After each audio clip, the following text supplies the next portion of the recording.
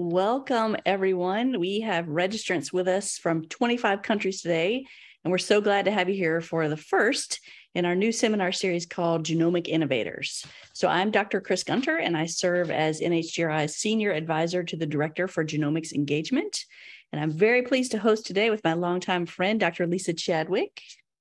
Hi, I'm uh, Dr. Chadwick. I'm a program director in NHGRI's Division of Genome Sciences, and I'm the lead of several of our programs that target early stage investigators, which include the Genomic Innovator Award. And we also want to strongly thank the team at NHGRI who helped us organize this series, particularly Susan Vasquez and Gerald Samani, who are both wonderful and have helped us do a number of these. So thank you to them. So on this first slide here, you can see, as I mentioned, today is the first one in this new series. We will be hosting them quarterly. That's our plan. So the next one will be January-ish. But you can find out more details for the series that are listed on the web page here on the bottom if you're interested in the future. And we'll make sure to uh, let you know about them as well. Um, they'll be posted on our YouTube channel after. So if you enjoyed today's talk, feel free to share it later with your friends who could not make it because we all know they're competing meetings. We named this series both after the extramural funding program we had in the past past, which Lisa was responsible for, uh, called the Genomic Innovator Awards. And after the fact that we bo- view both of these speakers as true innovators in the field of genomics. So on the next slide, you can see more about our speakers. And I'm going to introduce both of them to you. So, Dr. Luca Pinello is an associate professor at uh, Massachusetts General Hospital and Harvard Medical School. He earned his PhD in computer science and mathematics from the University of Palermo in Italy. His research program uses computational approaches, which we'll tell you about today, to systematically analyze the sources of variation that affect gene regulation, including epigenetic variation, genetic variation, and single cell gene expression variability. And our second speaker, Dr. Karen Mulkey, is professor of genetics and associate chair for research at the University of North Carolina School of Medicine, Chapel Hill. She earned her doctoral degree in human genetics at the University of Michigan. Her research program is identifying genetic variants that influence common human traits with complex inheritance patterns and also seeks to understand the biological function of identified variants and interactions between genes and environmental risk factors in disease pathogenesis. So while we're talking, we encourage you to put your questions for the speakers into the Q&A section, which you should be able to see at the bottom of your screen. And then Dr. Chadwick will ask those questions of the speakers during the question period when the talks are finished. And with that, I'll turn it over to Dr. Pinello.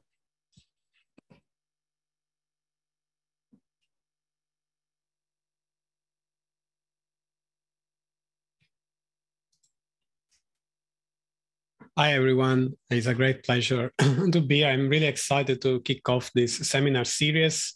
So today we're going to play genomic battleship with CRISPR technologies to uncover non-coding functional elements and their phenotypic effects. So uh, can you please enable the control of the slide?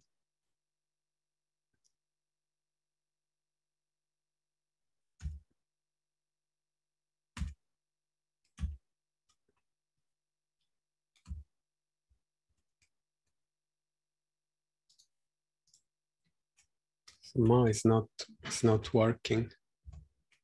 Should I share my screen instead? Let me try. Okay, now it's working. So yeah, so I want to, you know, first start with the disclosure, my slide of disclosure. And, you know, I want to now like briefly outline what we're going to talk today. So I want to briefly mention my transition from computer science to computational biology and now like NHGRI really enabled this. And then I want to talk about the DNA puzzle and where we can focus in the genome to understand function, and then propose a framework uh, to essentially have a multi-scale exploration of the non-coding genome using CRISPR tiling screen. And then the second segment that you know, is related to, to you know, what I will present, Karen instead will highlight disease variants in non-coding functional elements CRISPR technologies for variant ele element function, and also an outlook and future opportunities. So my lab you know, uh, is trying to combine computation experimental strategies to understand gene regulation, and we're working with different technologies and assays, including epigenomics, CRISPR genome editing, and single-cell omics. and we are trying to answer two specific questions. The first one is how can we uncover and dissect function encoding elements in the genome? And the second one, how can we model self-fate choices? And today we'll focus on the first one. And this is just a brief slide about my career trajectory. I'm from this little town in Italy called Altavilla. And, you know, I did my PhD in computer science in Palermo. And, you know, as you can see from this slide, you know, my first, you know, transition to computational biology was in 2011 during my postdoc. And throughout the years, as you can see, like NAGRI has been really important, providing funding to make me, you know, to the next stage. So as a postdoc, you know, I received a K99, and then you know, I was promoted to assistant professor. And then in 2019, I received this Genomic Innovator Award. They gave me so much freedom to explore my research direction. 2020, I was promoted to associate professor. In 2021, I joined the NAGRI IGVF consortium, leading a characterization center. So just wanted to highlight this because there are a lot of funding sources that may enable other people to make the same transition. And this really helped me to create, you know, have the freedom to create over the years several computational tools and to do team science and to enable other researchers to do uh, cool analysis related to genomics, CRISPR genome editing, and also you know, nice and crazy visualization in virtual reality for single cell omics. So going back to the question, you know, uh, I was really passionate about the, the genome because you know, there, there are so many puzzles yet, you know, to solve. And as you know, the first draft, the first good draft was completed in 2001, but was not until this, you know, year that we have, you know, the full a complete sequence of, of, the genome. And there are like several parts in if I light know, a, a, random region of the genome and I ask you like, what is the function of this small segment?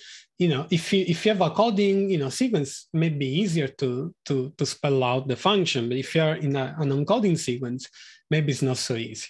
And you know, the non-coding part is really important because 98% of our genome is non-coding still, you know, 80%, depending on which assay you use, is some biochemical activity. And most importantly, many of the disease-associated variants are in the non-coding space. And Karen, you know, will, will expand uh, on this point more.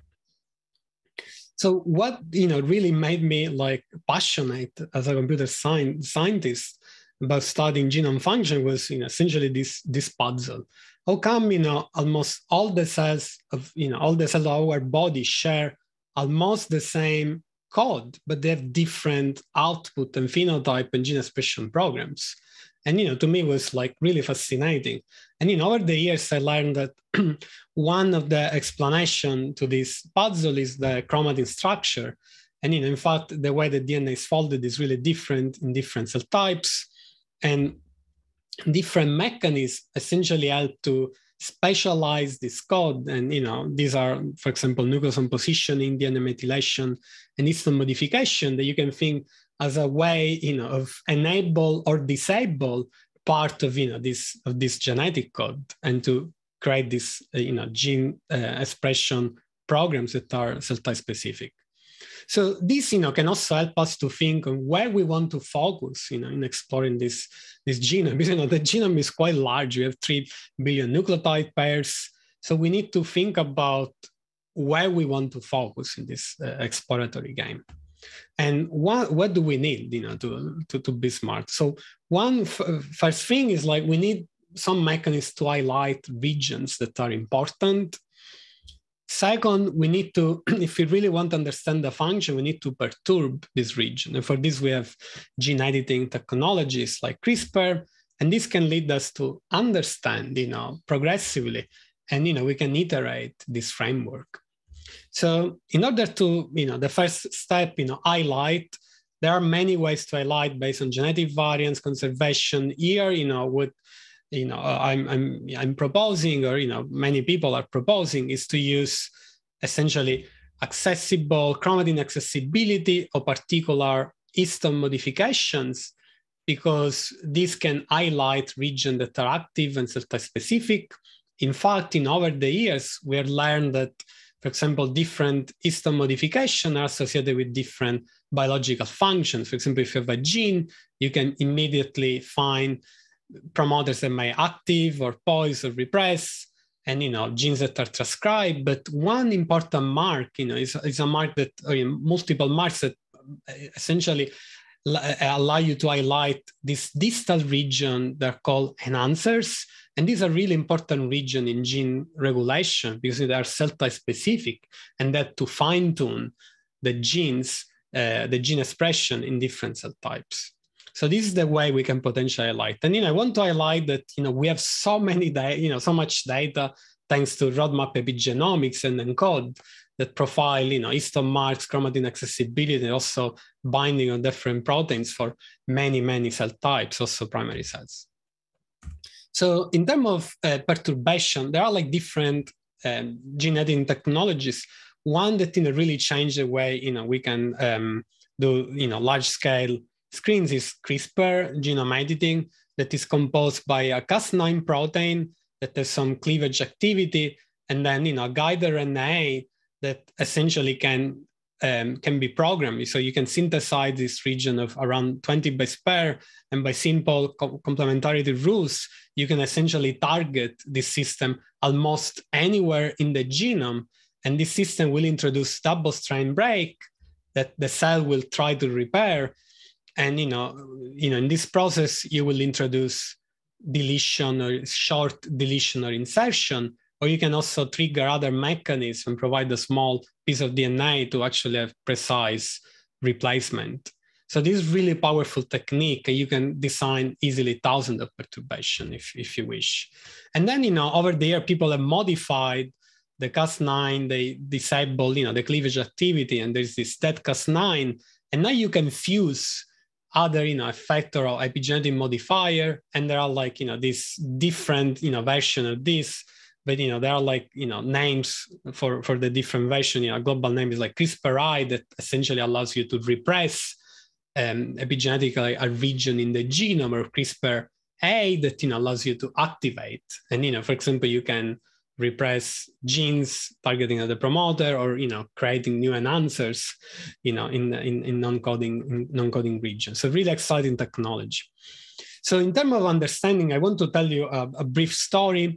And you know this really shaped you know the way I think about this also my career. So during my postdoc uh, in Guosheng Yuan Lab, I had the fortune to collaborate with Stuart and Daniel Bauer, and you know they were really interested in studying blood diseases and you know sickle cell. And in 2013, they they uncovered one enhancer that you know was enriched for, for genetic variants associated with fetal hemoglobin. So at that time, we essentially decided to actually delete you know the, the enhancer using gene editing and we saw that you know this enhancer was for a gene called bc11a indeed was you know controlling bc11a and bc11a being a repressor for fetal hemoglobin the perturbation of this enhancer element was able to reactivate in a cell type specific fashion fetal hemoglobin and this is really important because you know as you know we have different hemoglobin, we have the fetal one that only at the fetal stage, and then we have the adult one. So if you find, you know, a genetic switch or, you know, a perturbation that re-enable the fetal hemoglobin, you can ameliorate, you know, for example, sickle cell disease, providing a backup, you know, option. In 2015, we use again CRISPR technologies. This time, you know, instead of deleting the full enhancer, we did a saturation mutagenesis screen. And we uncovered that actually you don't need the entire enhancer to, to activate BC11A, but we uncover a, a, small critical element that was a binding site for a, a, combo of transcription factor GATA1 and TAL1. So you need a single perturbation, you know, around 10 base pair to essentially reactivate this fetal hemoglobin. And in 2019, we showed that this potentially can be a potential therapeutic avenue. So you can envision that you can modify human hepatopoietic stem cell ex vivo with this CRISPR technology with a single perturbation, and then you know reinfuse these cells, and this can potentially ameliorate you know this sickle cell. And this is actually a reality. In fact, in 2000. Um, oh, I cannot advance. Oops. Sorry, the, the advancement is not working. Yeah, this is, I was saying, it's really, it's truly translational. In fact, in 2020, you know, the first patient, you know, was treated with this with this idea, and there are like several clinical trials. One, you know, led by Daniel Bauer, the Boston Children's Hospital, and you know, today, like you know, this year there are already 20 patients that have like a really positive response using using this, and you know, it was really lucky to be part of, of this project, developing all the computational tools that enable some of these uh, exploratory analysis.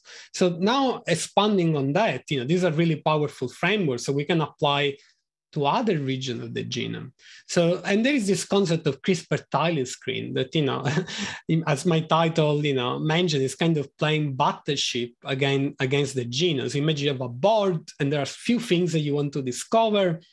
And now you have like, you know, this high throughput way to throw like you know perturbation on this board and you know you have a way actually to see which perturbation is associated to to the phenotype to the to a phenotype of interest. And you know you can potentially use target and answer you know variants and and, and so on.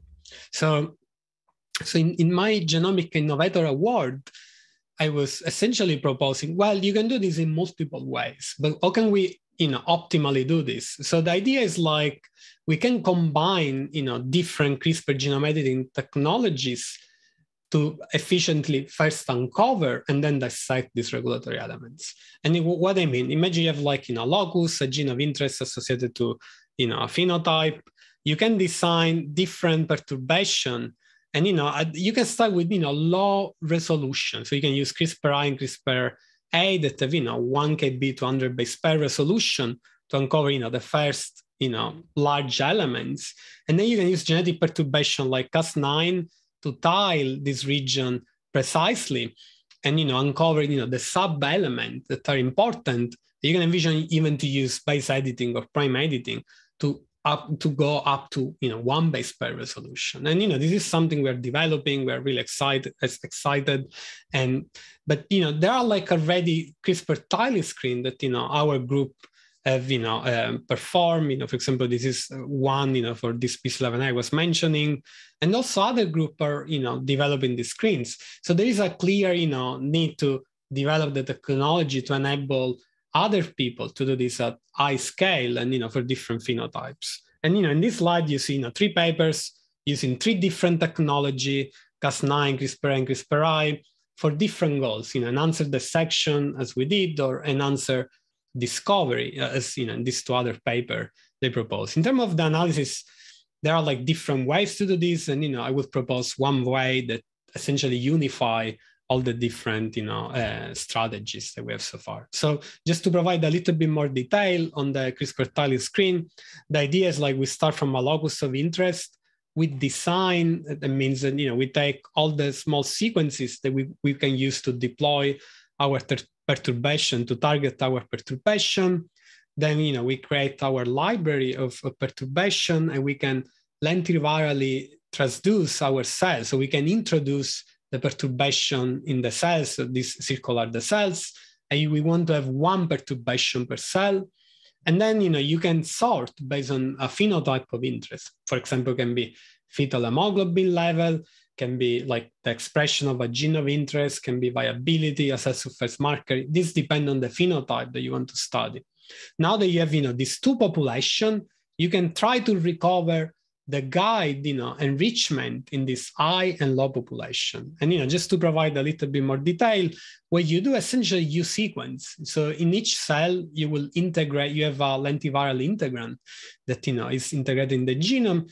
And, you know, the part around the, the guide RNA, this perturbation is, is the same. So you can just design primer, amplify, and, you know, you can create this nice table and, you know, calculate based on the, the, the log fold change between these two numbers, you can get you know, a 1D track that is the enrichment score. And then based on this, you can essentially understand which part is important associated to your phenotype. And you know, this seems all simple. So you know, high uh, level, you know, we start from reads, a FASTQ file. That what we want is something like this, you know, this denoise signal that tells us, you know, this association and maybe some statistical test that tells you, you like, okay, this region is the, the, the one that you should, you know, follow up And there are a lot of steps that you need to do right in between. So in order to do that, we created a tool called CRISPR-Serf that is based on you know the, the, idea of the convolution. This was led by Jonathan Su, who was a PhD student in my lab and um, Kit Jung lab. So the idea of the convolution, the convolution. So we want to uncover you know, the true you know, underlying regulatory signal in the genome, but we have an imperfect measurement system that you know, is our you know, CRISPR perturbation. And then you know, this essentially introduce like some distortion to our signal. So with the, the convolution, essentially we want to go back to this to this signal. And this depends, of course, you know, on the kind of perturbation that you use. If you use genetic perturbation, you have you know resolution around 10 base pair, and these are the small indels. If you use epigenetic perturbation, you have much larger, you know, like perturbation. So you have a lower resolution, you know, of one around 200 base pair. So, so in the in the measurement problem, what we do is like you can envision that you know this CRISPR perturbation is like you, essentially you can measure you know this signal here, and if you have the perfect tool, you will observe essentially the perfect reconstruction. But with this Cas9 and CRISPR-A, you get in a smoothed version, and this operation is called convolution. So, so now, like you know, you can frame this as a convolutional model. So you have you know what you want to recover. You have your perturbation with CRISPR, of course, we have noise, and we want to reconstruct, you know, and this is what we observe, you know, the, the, the noisy signal. We want to reconstruct the original, you know, the, the original signal. And for this, you know, the good news is like there are several frameworks for the convolution. Here we propose to use generalized loss so that, you know, essentially is a way to go from something like this to something that you know is parsimoniously try to under you know explain what we observe in the, the signal and you know you can learn more in our paper so we tested this in multiple CRISPR screen, and you know we show that this is a generalizable approach, no matter which perturbation type you use, and you can recover the same validated elements and also new candidates. We also did a dual screen targeting, you know, the BCL11A locus and several um, chromatin accessible sites with CRISPR-I and Cas9. And you know, one thing that is nice when you have this dual data on the on, on exactly the same region, you can clearly see the value of you know this multi-scale resolution. For CRISPR-I, you recover these three enhancers, but with Cas9, you recover you know the critical element. You have a much finer resolution. And also, if you use genetic perturbation, you can assess the effect of coding region, whereas with epigenetic perturbation, you cannot do that. And then finally, I just want to say that our lab is really passionate about building tools that are usable and user friendly. So we built this website that can assist you in the design of the experiment and as well in the, the convolution and then you know the follow-up annotation and analysis. So this is online. The, the code is open source. And you know, if you want to try, you know, like please let me know and we're happy to provide support. And the last slide, you know, there are exciting things I did. I just show you like some tools based on CRISPR-I, CRISPR-A, and Cas9. But now we are using you know this new editor, base editor, and prime editing that allows you to have you know really high resolution to uh, you know potentially change up to a single nucleotide. And also we are exploring a new framework for CRISPR tiling screen where we envision that instead of reading the guide RNA enrichment, we can read directly the alleles and we can potentially develop tools to leverage you know, this this allele you know allele uh, frequency in the different population. And with this, I would like to you know acknowledge current collaborators, past collaborators, and people in my lab, and you know especially also my funding source in the NHGRI that really you know helped me to make this transition, supported my career in multiple stages. And you know for people that are excited about CRISPR technologies there is a free conference, you know, next month, and you know we have like stellar speakers. So if you want to learn more, you know, please join us. We'll be online, and you can also send an abstract if you want. And you know, I will stop here. I will hand off to Karen. Thank you.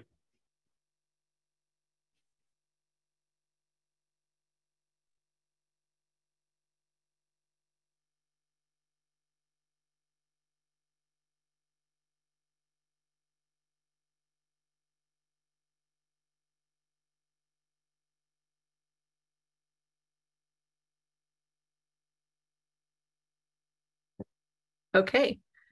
Uh, I will now add some context to the use of CRISPR technologies to identify mechanisms responsible for common disease that include variants in non coding regulatory elements, and then some perspectives on the future.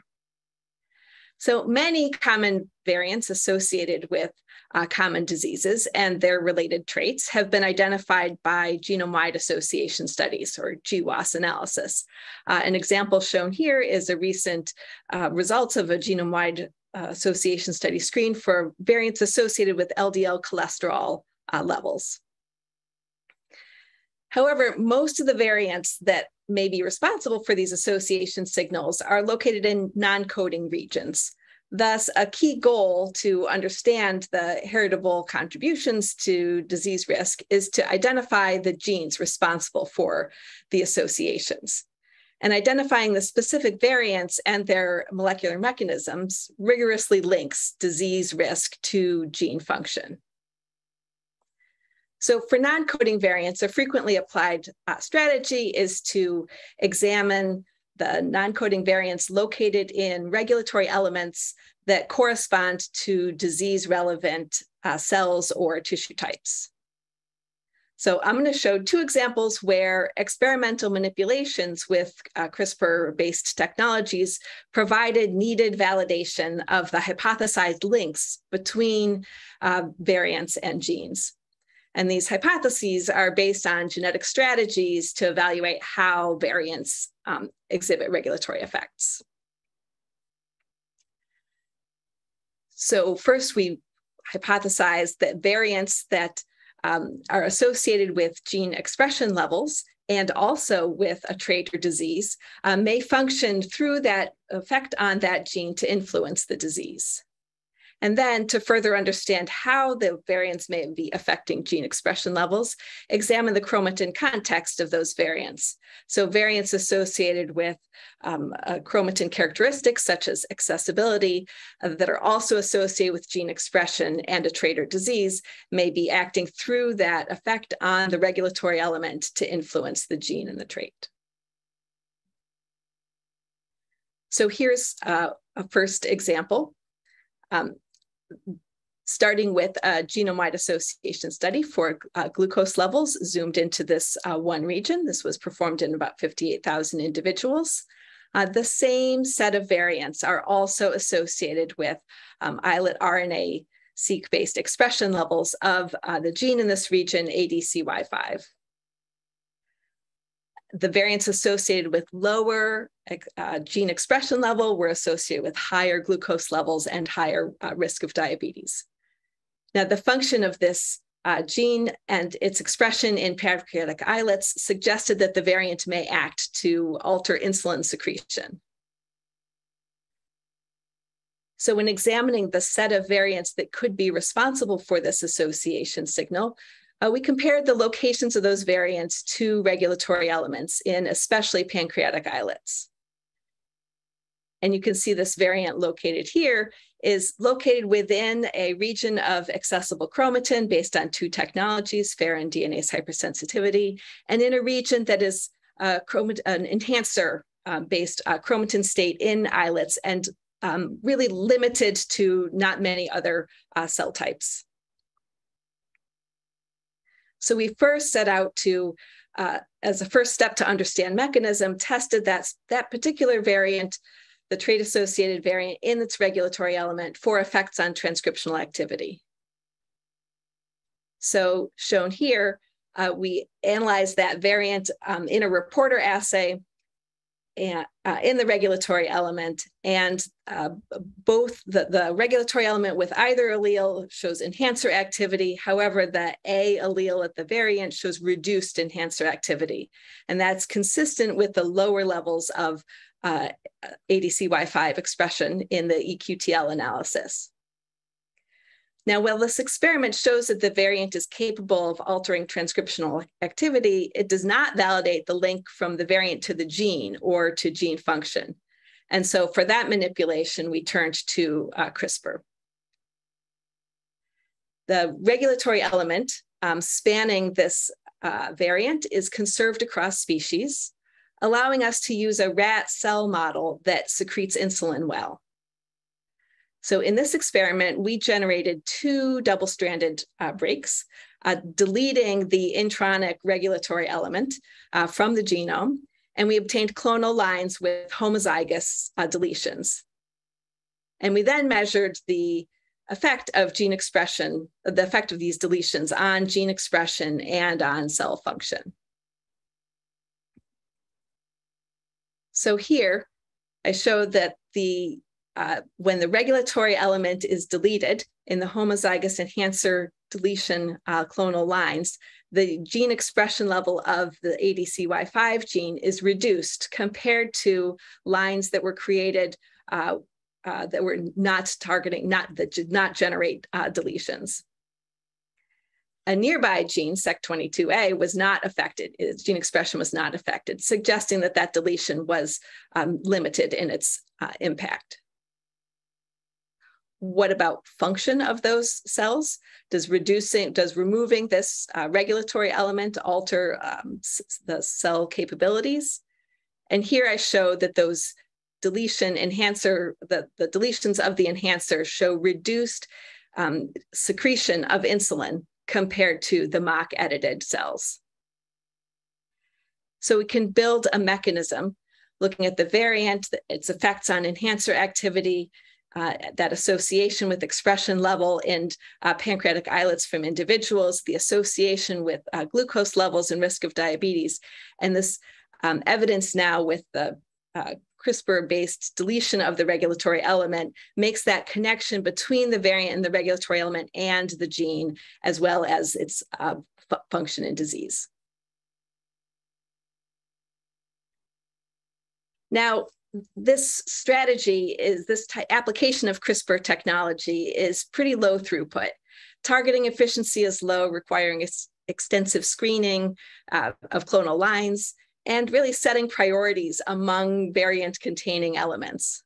So in this case, we were motivated by that evidence that the variant affects transcriptional activity, that the element was uh, limited in the cell types um, in which it was um, uh, an enhancer, um, has characteristics of enhancers, that there were really few other candidate variants in elements that could be responsible for this GWAS signal based on those annotations that this element was conserved across species and some other experimental and annotation uh, support, some allelic imbalance in ChIP-seq data and evidence of, of specific binding of proteins.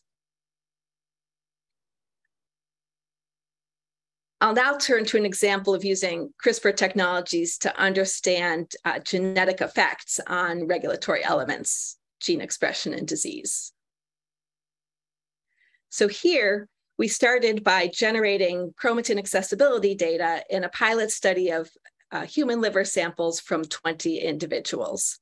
Uh, we performed ATAC-seq uh, to identify the accessible chromatin regions, uh, identified peaks uh, spanning the genome, and then tested variants that were located within one kilobase of the site of one of these uh, peaks or regulatory elements to ask whether the alleles at that uh, variant were associated with the level of accessibility. So in this study, we identified more than 3,000 regions across the genome where this was the case. We then compared these chromatin QTL uh, signals to genome-wide association signals um, uh, to identify uh, potential functions. So an example of that chromatin uh, association is shown here. These are profiles of uh, ATAC-seq data from nine different individuals uh, shown across the, the, the, width of the screen and the uh, peaks then that are called as um, regulatory elements are shown below. Now you can see that most of these elements, most of these um, uh, chromatin accessibility is similar across individuals, but in one region, the chromatin accessibility differs between individuals. And the genotype of a variant located within that regulatory element uh, is shown over here on the left. And you can see that individuals with that are homozygous for the T allele have stronger evidence of accessibility uh, than individuals homozygous for the C allele. So this is um, a chromatin QTL uh, variant. These elements are um, more often found, these the ones that are genetically regulated are a little bit more often found in enhancers um, and in promoters uh, when compared to chromatin states uh, from liver tissue in the uh, Roadmap Epigenomics Consortium. The presence of some additional uh, elements in otherwise uh, termed quiescent regions suggests that perhaps the greater genetic diversity of the individuals profiled here uh, helped identify additional uh, regulatory elements uh, in the liver. So this region that I uh, showed, that's a chromatin QTL, is also gene, a signal that is associated with LDL cholesterol levels and with expression level of uh, the uh, LITAF gene in liver samples. So the LDL data is from around a million individuals, that GWAS study, the EQTL data is from around a, a thousand individuals, and here, the same variant that was the lead, most strongly associated with LDL cholesterol and with gene expression, was also the most strongly associated with uh, the accessibility of this peak here, the three prime end of the LITAF gene.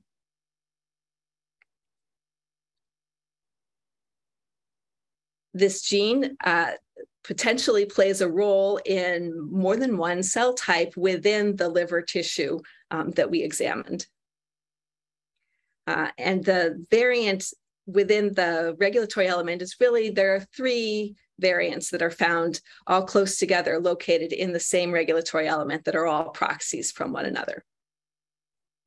So again, as a first step, we tested these variants uh, within the regulatory element to see if they could alter transcriptional activity.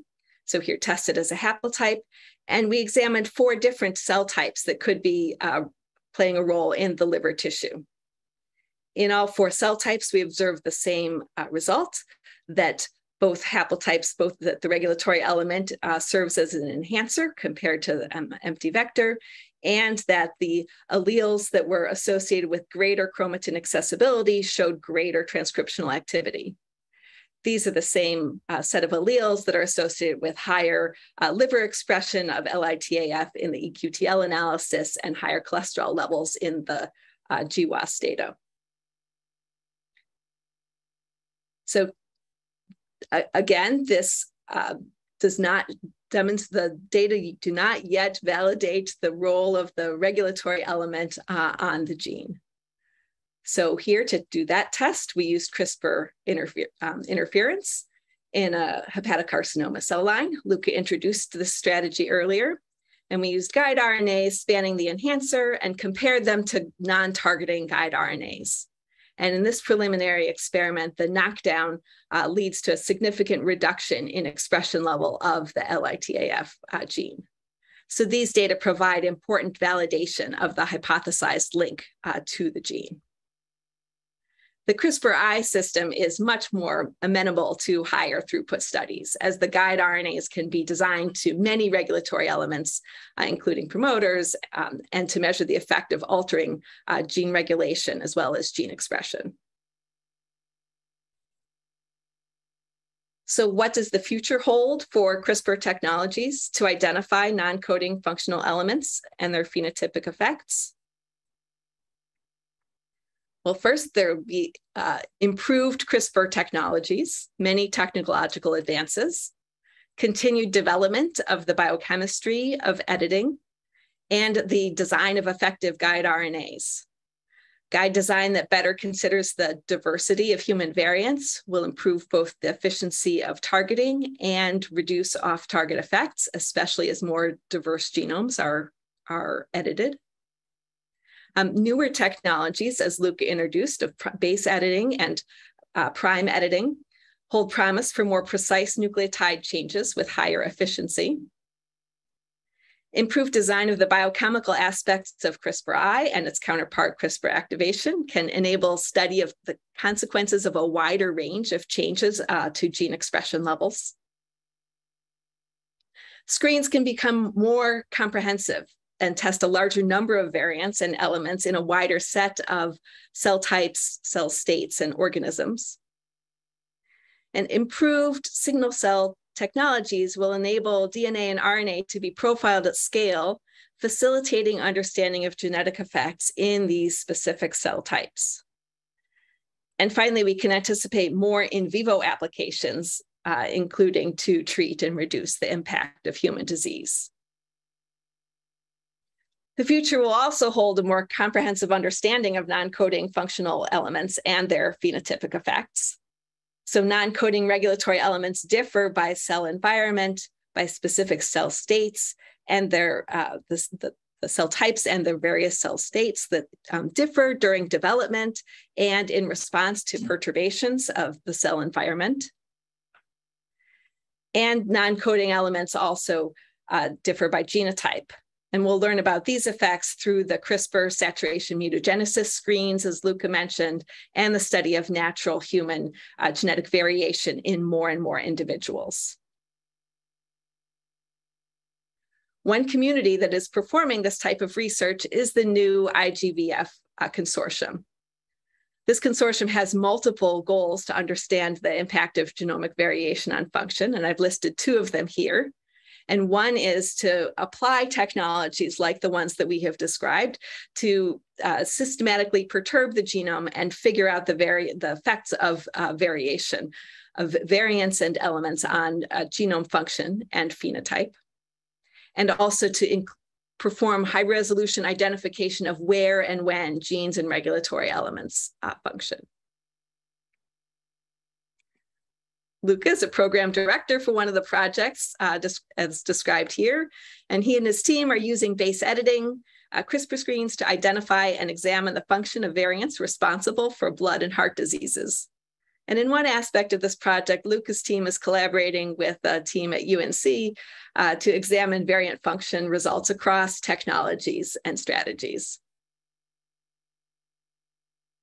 Finally, I'd like to acknowledge the people who contributed to the projects I showed, including uh, the people in my group, past and present, our collaborators at UNC, uh, and uh, elsewhere. Great. Thank you both so much for those great talks. Um, we have some time now to answer questions from the audience. So remember, if you have a question for our speakers, uh, go ahead and post it in the Q&A box and I will ask it. Um, I'm going to start with a question and then I'll uh, ask some of the other ones we've gotten in the chat while you both were talking. So Luca, you know, the work that you talked about uses tools and technologies that are still relatively new. How have those kind of changed the way that you both have been able to address uh, the questions that your lab is interested in and how accessible are these kinds of technologies to, to other researchers? Yes, um, very good question. So I think you know, like we have seen a revolution. You know, like for example with CRISPR, you know, single cell technologies, and you know, initially, you know, they were not so accessible, but now like so many labs can easily, you know, deploy this technology. You know, and you know, one barrier sometimes sometimes is like having the computational tools, but now there are like several programs, including this genomic innovator that, you know, like help, you know, researcher, you know, like me that are excited about developing tools to help others, right? So I think, you know, like it's a nice, you know, framework, right? You know, there are new technology and I think now like we're much faster in adopting new technologies and you know with you know sharing you know it's like more open you know we share you know reagents and so I, I think you know like I see like a really positive future you know there will be new technologies but we have you know already a system of to share you know like this technology as well you know computational tools so yeah that's my short you know view on this Great. So one of the questions that we had in the chat was uh, about the difference between discovering enhancers and dissecting enhancers. I think probably like what kind of tools would you use? What kind of information mm-hmm. are you looking for? Can you guys speak to that a little bit? I can start with that one and say that uh, identifying where the enhancers are located and which cell types they are active in requires uh, looking at those different and having access to the different cell types, tissues, uh, cell states of, of interest.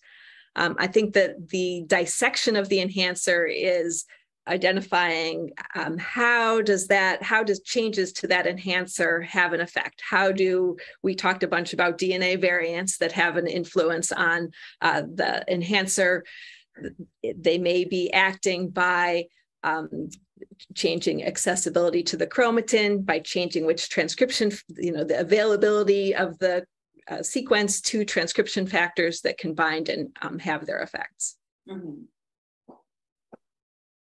Yeah, and you know, maybe in terms of technology, one point I was trying to highlight in my talk, you know, you can delete completely, you know, one sequence and see like, do you see that, you know, the gene that you, you know, you think, you know, is regulating change expression, right? So you, you can have this direct, you know, assessment. You can use CRISPR-I and, you know, you can try to shut down that enhancer again, you see if the gene is changing and then dissect means that you know you already know that maybe this isn't an answer right? And now you want to know what is the critical part you know what are the maybe 10 base pair or you know 20 base pair that are important for this activity.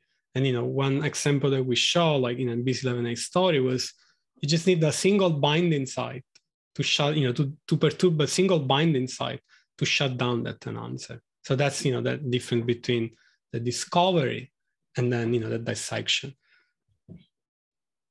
Cool. So i think the next three questions that i saw in the chat kind of all relate to the types of things that are biology that will still make it more difficult for you to do these kinds of experiments so the first one is about the repetitive nature of the genome. Of course, mm-hmm. there is everything from small duplications in the genome to even large scale duplications like segmental duplications. How do you deal with that repetitive nature of the genome when you're designing these CRISPR perturbations? Does that make it more complicated for you to analyze the data? How do you sort of deal with that in these kinds of experiments?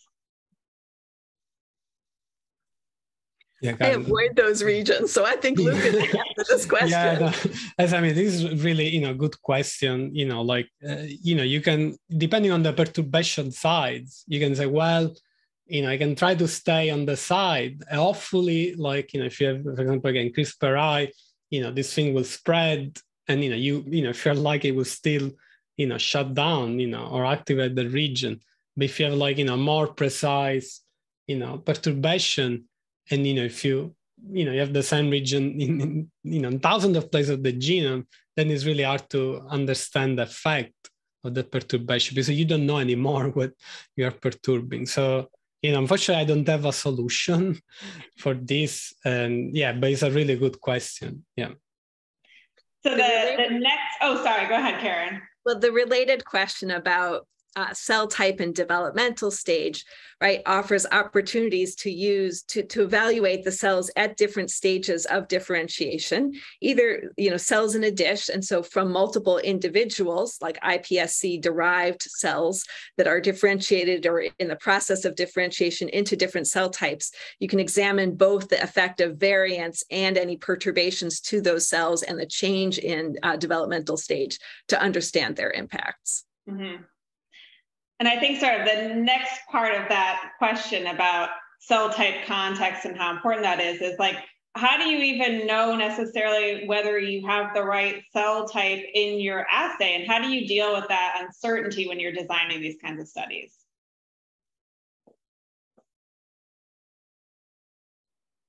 So yeah, i'm looking oh go ahead. Yeah go ahead go ahead karen please I'm looking forward to and making use of the single cell uh, data that is helping identify what the underlying cell types are. Um, and because the data that we generate in bulk tissue uh, leaves that still a bit of a mystery. And so identifying, say, the chromatin QTL in bispecific cell types can help um, elucidate some of that, where the action is happening. Yeah, no, oh, sorry. Go ahead, Luca. And you know, there are like you know papers, you know, that show like already you know chromatin QTL or you know QTL the value actually decomposing this, you know, in different cell types or you know subpopulation, or even you know continuous uh, like you know uh, like uh, trajectories, right? So you have way more power, you know, to detect these signals. Mm-hmm. So Karen's been doing a great job of leading into the next part of the question, which is move as we move into things like single cell assays, uh, that generates a ton more data and probably a ton more computational challenges.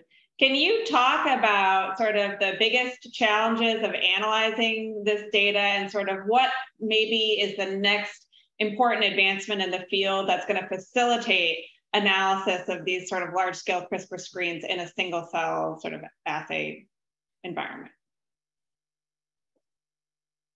Yeah, That's probably can, a Luca question. I, yeah, I can start from that. You know, you know, if we think about not computation, but you know, what, what is my dream? You know, I think what what we miss right now, like especially if we want to assess, you know, element, you know, or variant, you know, perturbation to phenotypes, you can think, you know, maybe as the easiest one, you know, change in gene expression. The current, you know, says are still based on you know the guide count. So you actually don't see the the alleles that you're creating this single cell. So you have you know this RNA readout. So it's really hard to you know have a definitive you know or high resolution you know answer if you cannot read you know what you're doing in individual cells. So in terms of technology, you know I know there are some effort in this direction, but we are still not yet there. You know they are not scalable but that's you know the one thing that can change you know a little bit the game in terms of computational analysis you know it's becoming harder and harder because you know the scale you know is increasing you know we have like you know several companies and labs that are innovating and you know like the the kind of skills that you need to develop you know uh, you know that, uh, you know if, for example if you're a postdoc or a trainee or you know a research scientist you need now to learn you know like things related to big data or you know start to learn how to use gpus or you know other techniques that you know before were not necessary. But at the same time is a an exciting challenge right? You know like i'm not complaining. Actually i see this as an opportunity to to actually leverage this new tech, computational technologies and you know data structure that were you know adopted in different fields So there was a question in the chat about combinatorial regulatory interactions. So of course, you know, one of these regulatory elements is probably not necessarily working by itself, but that adds a whole other layer of complexity to the whole thing. So how do you use these kinds of tools and methods that you talked about to look at the combinatorial effects of different regulatory elements? We're really stumping you guys here. yeah, yeah. No, I mean, these are good questions. I mean, I think you know, like this is a super exciting area, and you know, there are like some technical limitation. You know, if you think about single cell, you know, as a readout, um, you know, how many cells can you really profile, and how many combination you can explore. So, if you have already an hypothesis about you know small number of elements that can you know have you know some synergistic effect you can design the screens. But you know, if you want to, you know, think broad, you know, I don't think we have, you know, the the technology, you know, the funding, you know, level to explore, you know, the time to explore, you know, this large, you know, the large combinatorial space. So we need to be really careful in, you know, rational design, you know, the pairs, you know, or you know, the combination that we want to explore. So yeah, that, that's my my my take on this. I agree. Prioritizing starting with elements that um, show an effect and then designing specifically which combinations to evaluate is the practical short-term way forward to be able to uh, investigate those combinations. So I see a question in the chat that reminded me of one that I had planned to ask you about. So, um, Luca, you received the Genomic Innovator Award for the to help you fund this work. Um, that is, as you know, a uh, grant mechanism that's a little bit different from sort of the standard grant mechanisms.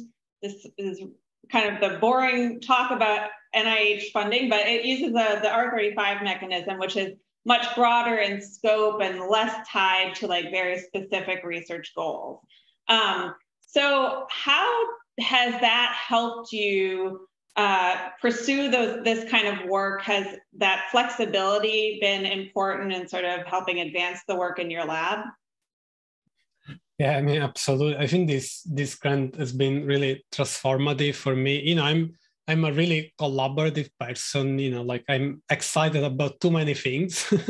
so, you know, having the flexibility, you know, to to do things that, you know, will advance maybe one area that can be gene regulation, but having the flexibility to collaborate, you know, broadly with many labs, you know, these are really, you know, enable me to, you know, create many tools because, you know, the, the way we envision, I'm really excited about new technologies related to gene regulation broadly. And then you can contact different labs that you know generate data or you know design together you know experiments and you know i think you know this is really different if you have like a rigid structure where you have you know a particular disease or a particular phenotype that you want to study that you know is really important research you know i like that model as well but you know for kind of team science i think you know the genomic innovator award you know really enables to do that without worrying too much about completing you know this sub aim right so so mm-hmm. yeah i'm really grateful you know for for this and you know it's really helping helping my career you know in you know in, in the past few years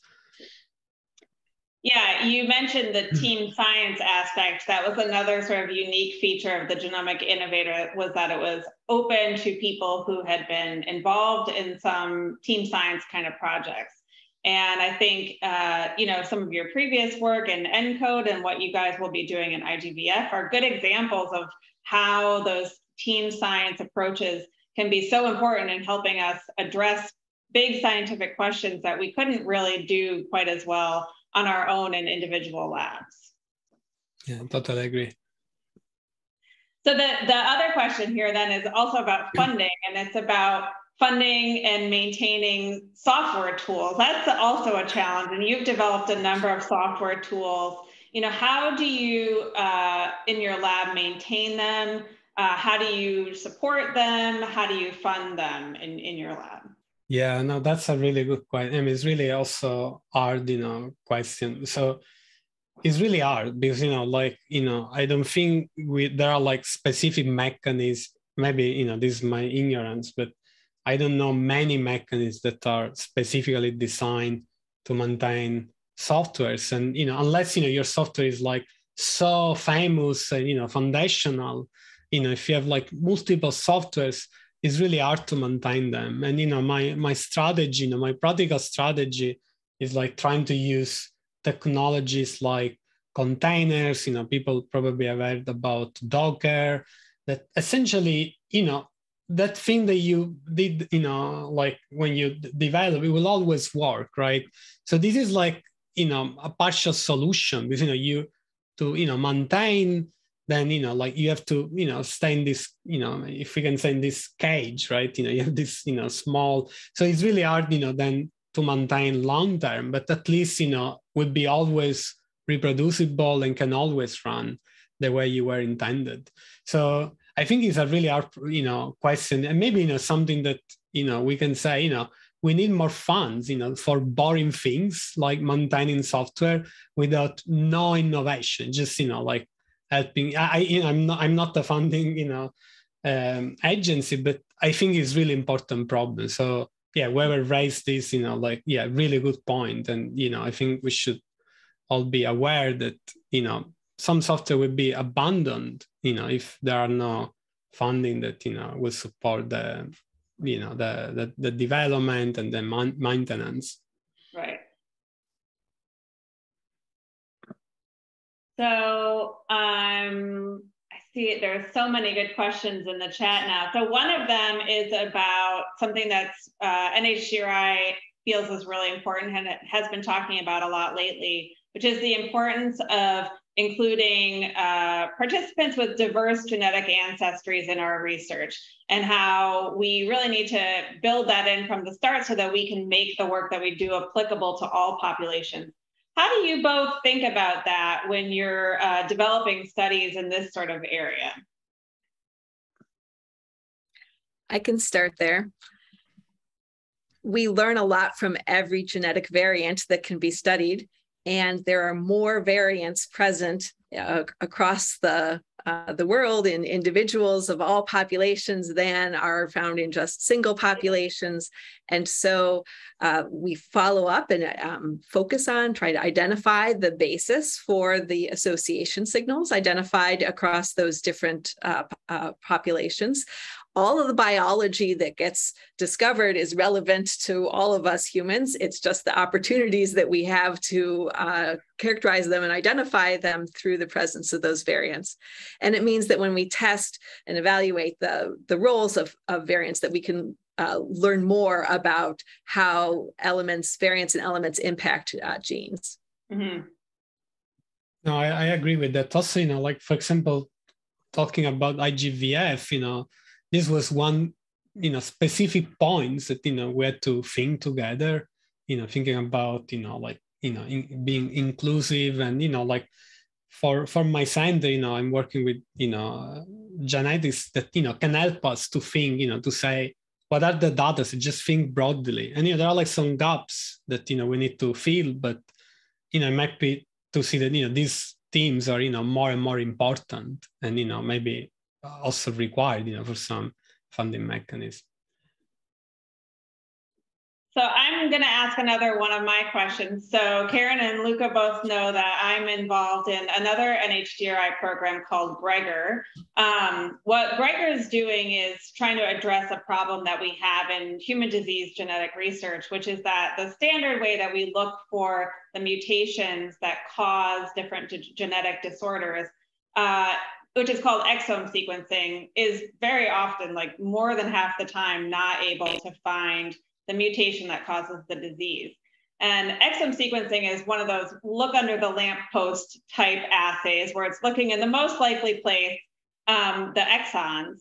But that's, of course, only a very small portion of the genome. Uh, these other mutations that are harder to find could be anywhere, and I'm sure a lot of them will end up being in things like these regulatory regions like enhancers you both talked about some great examples of how those kinds of mutations could lead to disease.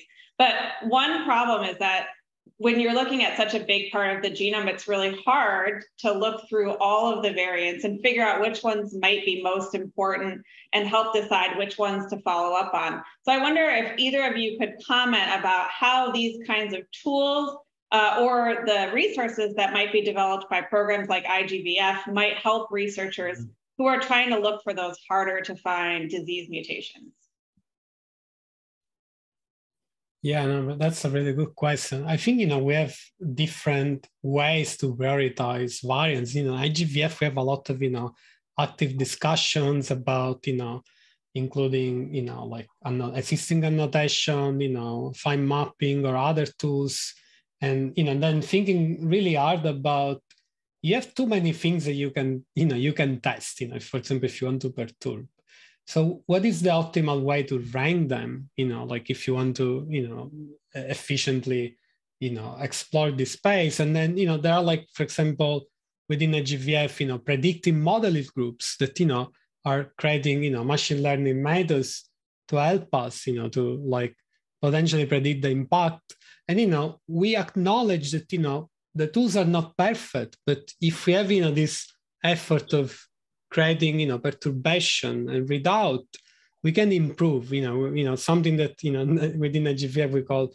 the active learning strategy so we're envisioning that you know it's not something we are going to solve in one year but over the years we become better and better you know with these efforts so mm-hmm. uh, i don't know karen you know if you want to I think the continued discovery of regulatory elements, recognizing that what we've discovered so far is um, mostly still at the basal sort of cell state or tissue state, and that identifying um, the the elements across more cell types and in these perturbed environments, maybe those relevant to the rare diseases, could help identify, characterize those elements, make the elements available. So then, when characterizing, when looking through those large number of potential genetic variants responsible for a rare disease, to have some guidance, some priorities, perhaps based on uh, the most relevant regulatory elements. Mm-hmm. And I see another question in the chat that's sort of related to this. I think you probably sort of answered it, but like these kinds of methods could also be used to help understand some of the variability that we see in these Mendelian disorders. Even when we mm-hmm. can find the mutation, we still know that there's a lot of difference in the phenotypes that you see in different individuals, even with the same mutation. And so these kinds of tools and understanding variants in these kinds of elements could help explain so I see um, one question in here. Oh, so uh, the Genomic Innovator Program, of course, is a program targeted at early career researchers, so people who had not had a major NIH grant before. Um, Luca, what advice do you have for an early career person who's maybe still working on their PhD who's starting to get into this kind of an area? Yeah, I think, you know, like um, my suggestion i mean i mean some are obvious like you know reading a lot of papers. But you know one thing that you know uh, you know is important it was really important for me try to follow the technology right? You know try to see what are the new technologies and trying to envision like what what may happen you know with this new technology. Because you know, there are like these waves you know that you know we we all experience that were all you know like related to new technologies you know sequencing technology single cell you know perturbation and then you know they were like they were enabling so many new things so you know i think this really helped me to to see you know a little bit where the field you know was going and there were like surprises of course but i think you know like this is one you know one suggestion i have and then also being really open you know like trying to you know you know like going to specific conferences and you know where you know you have a mix of different you know like you know technology biological talks and you know just connecting and talking to people i, I think is like really important i mean two that you know i really like and you know i'm not associated with them you know one is biology of genomes at Cold Spring Harbor and you know ASHG that you know is also fantastic you know like um, so these are you know two meetings i try to attend and they're really broad and you know you can connect with many people and you know so so these are you know some suggestions so I cannot let this kind of a question pass without telling everyone who's uh, on this webinar too that another important thing in being successful in this kind of research is talking to the program officers uh, at the institute that is most relevant to your work. There are a lot of uh, colleagues of mine, including me and other people in my division who are here really to help you uh, think about your research, how to get it funded, what are the best opportunities uh, for that. So make sure that you contact program officer. And I also am putting a link in the chat and I'm hoping that this shows for everyone to a web page that we have put together that has uh, some information about uh, funding opportunities for new and early stage investigators um, there's some just some general information, uh, links to different events that we have, like a grant workshop at ASHG, um, and funding opportunities that are open specifically to early career researchers. And you know, talk at the conferences. You know, that's you know another thing that is so important. You know, often you go to these conferences, so it's some sometimes it's so nice just to chat in person. So let me look through these questions here. So I saw one about, okay, we talked earlier about the importance of cellular context on looking at uh, functional elements like enhancers. Uh, of course, uh, there's like also the level of how different cells within an organ interact with each other and how that might influence how different uh, functional elements work. Uh, can you apply technologies like this in more complex systems like organoids? And if not, sort of what are the challenges in doing that?